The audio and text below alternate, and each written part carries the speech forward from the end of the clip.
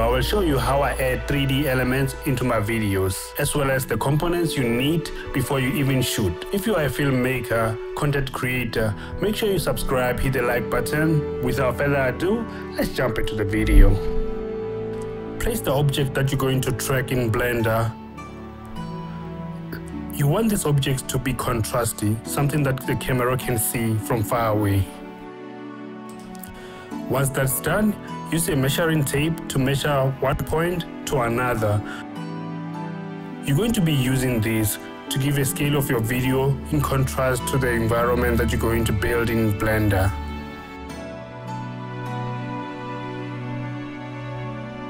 Using a video color checker, put it in place next to your scene so you can shoot it with a drone or whatever camera that you are using. This will make sure that you balance your shot in both Blender as well as DaVinci Resolve. Assuming the composite will be done in Fusion, you don't need to do any color grading on this video. Set the outputs as shown here, I'm using EXR, but this can take a lot of space on your PC. And if you don't want that, you can go for MP4 and she'll take a lesser amount of space. One thing I would suggest is take note of your frame rate because this has to correspond in your Blender. Before adding this job for rendering, I suggest you check the color management, change it to ACCC or ACEScct. Check the video link to see how to do this the right way. Now you can render out your output. Just to check the utilization of my memory on my PC, once the rendering is done, you can right click and check the properties. And from this you can see how big these files are. In Blender, we can generate a new VFX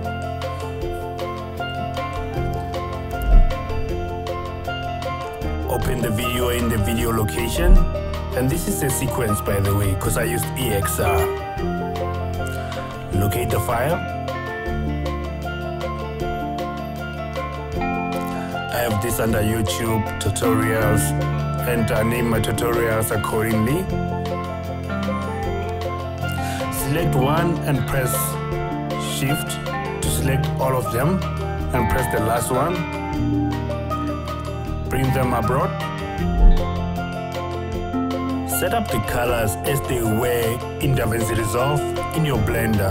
Say for instance, if you exported this as ACEScg, you will want to select ACEScg. Under camera, set sensor width to your specific sensor width. If you don't know this information, you can find it online by the way. Under the same section, you can set your camera focal length. From the track section, set scene frames, or you can type it in manually if you want to. And if you have a good RAM on your PC, press prefetch to ensure that your video plays smooth when you play back.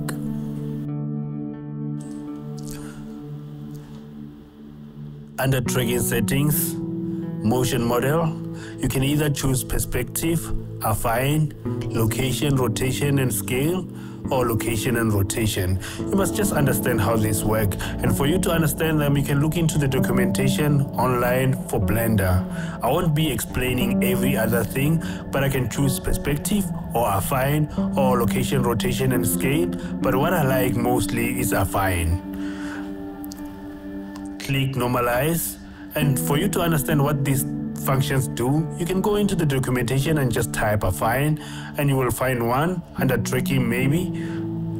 Go into that and look for that specific uh, affine documentation. Sometimes you might get more information on this and sometimes you might not.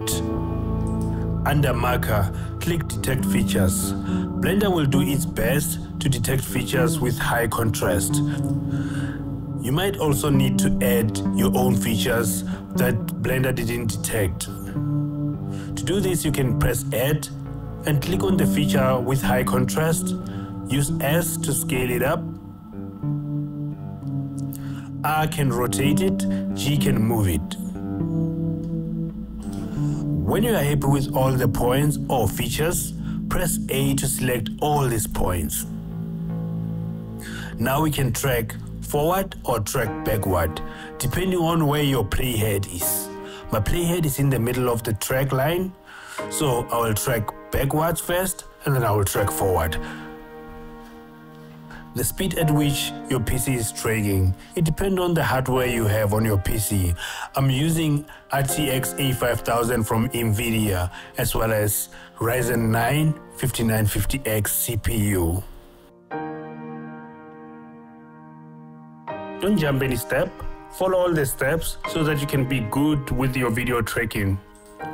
Go into Solve tab and here we are looking at keyframe A and keyframe B. And the reason for this is because we are looking for the specific motion that the camera is moving a lot and you can put that into keyframe A and keyframe B. For me, it's from keyframe 18 up to keyframe 138. Next step is to refine your focal length and your optical sensor. If you're unsure of anything, remember to just go into your Blender documents for reference.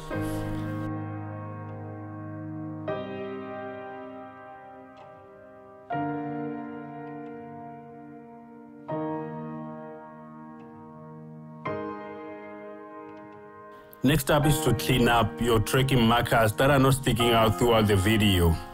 For me, it's a few of them, so I will just click and delete. But if you want to do it the quicker way, go into cleanup section.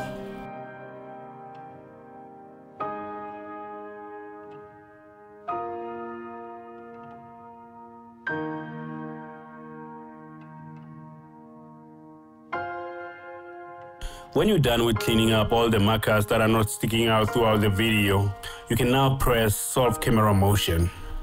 Check the solve error at the top right corner. Any error less than one pixel should be fine. Select good three markers that are placed on the floor.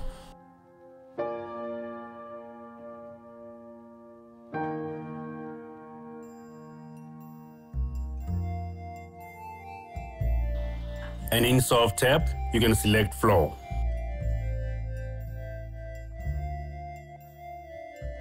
Next step is to set origin. Now select any other three that are in the middle of this floor and set origin. You can see it on the top right corner that the camera is moving to that origin. If you remember earlier on in this video, I measured these two points to be 2.58 meters. Input this into distance and set scale. Let me move this camera around so you can see or observe these points as they get scaled up and this what it does, it, it helps you with 3D elements that are drawn to scale to fit your scene. Set up your scene. Currently I'm using a vehicle that I got from BlenderKit.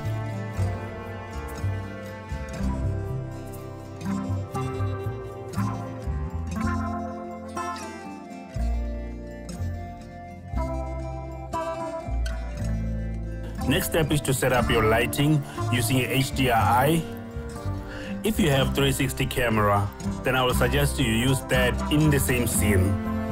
I do not have this camera, but I will select HDRI that are similar to the scene. I prefer you download EXR file to preserve all these colors that comes with it. In Blender World Properties, select Color and choose Environment Texture. Locate the HDRI by selecting Open.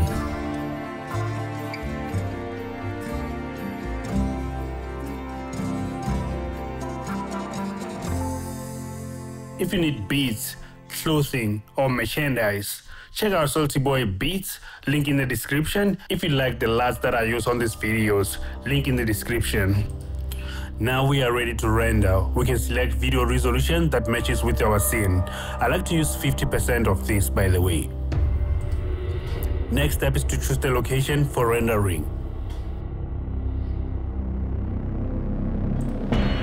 Change the file format from PNG to OpenEXR multi-layer.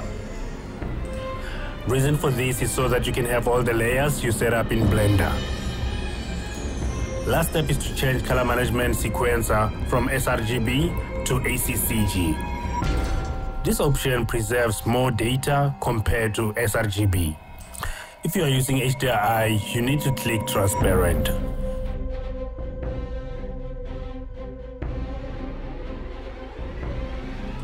For those who want to render out the layers, this is the section you can use to render out each and every other layer. Wait for Blender to complete rendering. If it takes time, you might want to stop things like DaVinci Resolve or the recording, or even your browser. That can give you more speed to rendering process. I use DaVinci Resolve to composite two images together under Fusion, and I'll have a video specific for that. Here's the end results. Cause I don't give a fuck what you say Yeah, I'ma do shit my way. So you can go kick rocks. I'ma stack bricks up, build what I want to make. Yo, I got a lot of shit to say So I'ma do this every day. I'll be writing things until I'm fucking buried in my grave. Six feet deep under, but my body won't If you made it to this point, hit the like button, share this video with your friends, check out this video next.